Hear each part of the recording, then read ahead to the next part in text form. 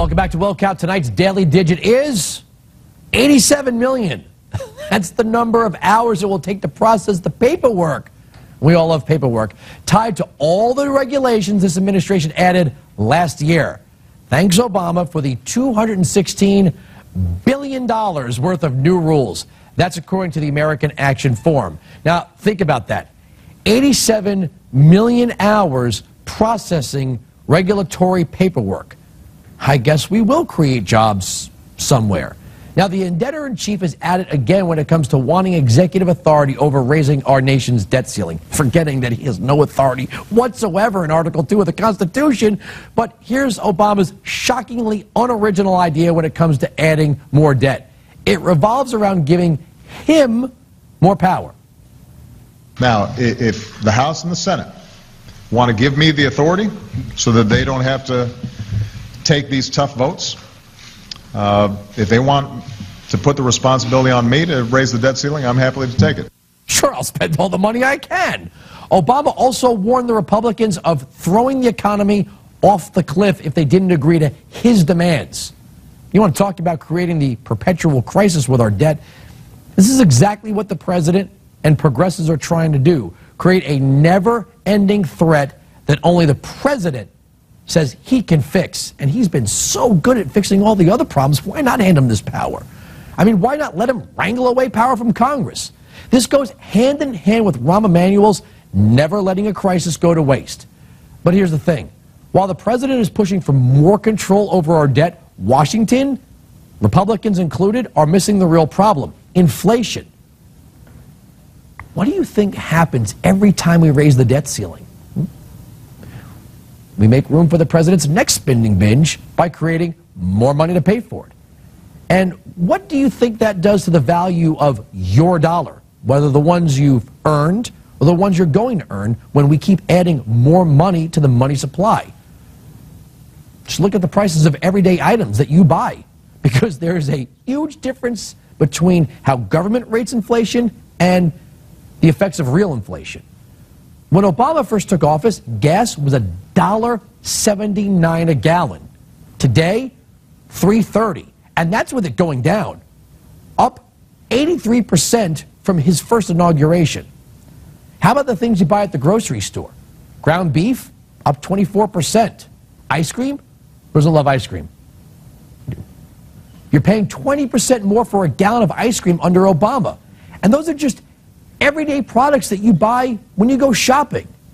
And don't forget about big things like uh, health care. You're going to be required to buy that under Obamacare, and premiums have gone up three grand since January 2009. And it hasn't, Obamacare hasn't even been fully implemented. My next guest breaks down all the numbers in his new report on inflation. Let me welcome friend of the program, Ed Butowsky, founder of Chapwood Investments. Um.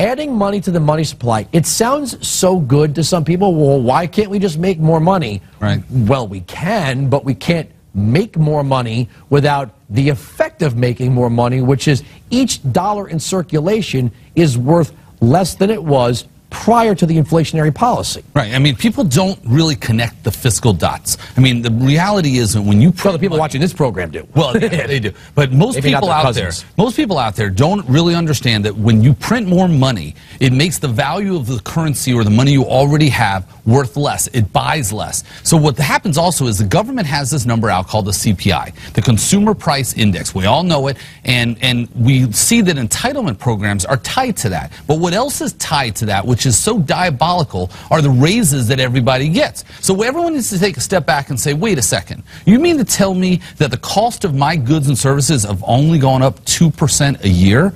And everyone knows that's not true.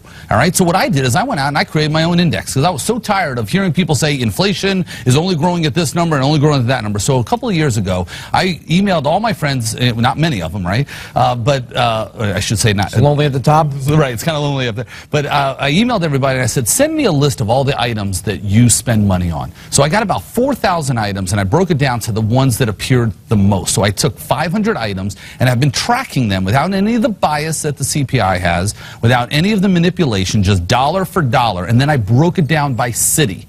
And what it really comes down to, it's called the Chapwood Index, but what it comes down to is that your cost to maintain a constant standard of living the year before, compared to the year before, averages about 10%. But the government says 2. So when somebody gets a raise of about 3 or 4% on, you know, from year over year, they really just got spit on by about 6%. Their cost of living or their quality of, you know, maintaining the same standard of living drops 6%. That is what's happening. So when we go back to the debt ceiling, and when you raise the debt ceiling, you print more money. So everyone needs to know this matters to them because their the cost of living to them just got tougher by the debt ceiling being raised. You know, it's funny. The first first time in a long time, platinum is, and I don't know if it's because they were talking about this trillion dollar platinum coin is all of a sudden more expensive than gold. I'm just throwing that out there because when we when I heard them talk about the platinum coin idea, and by the way, um, speaking of inflated currency, Right. my uh, make sure I get some some of that in the, uh, in the swear jar, or I'm going to get in trouble with the boss man. Um, when they were talking about this platinum coin idea, I, I, I remember people thinking this was absurd, and you, you, you heard even progressive economists saying, "Well, well, no, this is a great idea because it'll be able to point to value." I'm like, "Oh, so you're talking about fixed money again?" Because if there is fixed money, Yeah. then you can't just manufacture money. That for better, when they say, well, if we went back to the gold standard, you know, prices were, you know, uh, wages would crash, but prices would crash. When we talked about inflation, when we talked about those products that you buy at the supermarket, wherever along the supply chain the inflation affects, it affects the rest of the supply chain. So if we're talking about uh, ice cream and ground beef, well, that's shipped in a truck, gas prices go up. The drivers pass that off to the wholesalers and the retailers and so forth. There's no such thing as a government effect on an organic economy that isn't a pollutant. Yeah, you're, you're spot on. I mean, this started in 1983 under Reagan. What happened was inflation was about 12% a year. And Reagan looked at that, or his administration. I remember speaking to Ed Rollins about this. And I said to him, I said, you know, you guys started changing the way you calculate inflation. He goes, we absolutely did. We did that so we didn't have to pay out as much more in entitlement programs. Well, that's when it began. So they dropped the amount of money that they had to pay out. This happened again under the Boskin Commission, or in the Boskin Commission under Clinton. But the manipulation of the CPI is something that has continued to happen. And recently they started talking about it. We're going to hear about this in the next couple of months about changing the way they calculate chained inflation. Okay? And what that, what that means is if they change the way they calculate inflation again, they'll slow down the amount of money that they have to pay out in entitlement programs. This is actually a Republican idea. It's a horrible idea. And everybody needs to get up in arms about this because that miscalculation, that biased number is destroying our economy. That's why, Andrew, most people are reliant on entitlement programs. Nobody wakes up and says, I want to rely on entitlement programs. They did everything they were supposed to do. They followed all the rules. They paid their taxes, but their cost of living outpaced what their raises were. And now the fight is here you have currency or wages that you earned, it went to Social Security. Somewhere in the Johnson administration, it no longer became your bank account, it just went into the general fund. That's right. The currency got inflated. You can't get that money out until the government gives it to you, and then they give you what's called a cost of living adjustment. That's right. So they're inflating the currency, devaluing the, the currency, and now you're fighting over an increase of dollars just to get back, back to that inflated currency, and you can't get Never the get. DeLorean and go back and be young again and say, hey, maybe this would be a good idea in the future. It's it's sad that, and, and you see this on the international stage. I know I, I we have to wrap up in just a second. I was moved by that Brazilian finance manager who said. Wait a second, you guys are going to do this QE3, but you want to buy our oil. We're mm-hmm. not going to sell you a barrel of oil on Monday for an agreed upon price for you to devalue the currency on Tuesday. You got the oil, and we've got a, a worth less currency. That's not fair.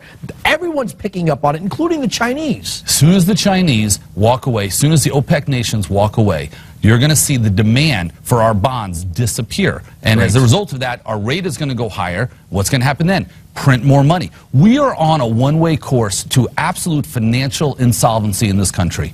And raising the debt ceiling, most people just drive by and hear the thoughts and go, oh, yeah, raise the debt ceiling. They don't understand what it means to them personally. They got to wake up and start demanding more from the government and reduce our spending because guess what? Purchasing power is under assault. We're being ambushed right now by the policies of this administration and past administrations. Uh-huh. But we, right now, it's never been worse than it is today. I can't wait to be Greece. Thanks, Ed. We'll have you back.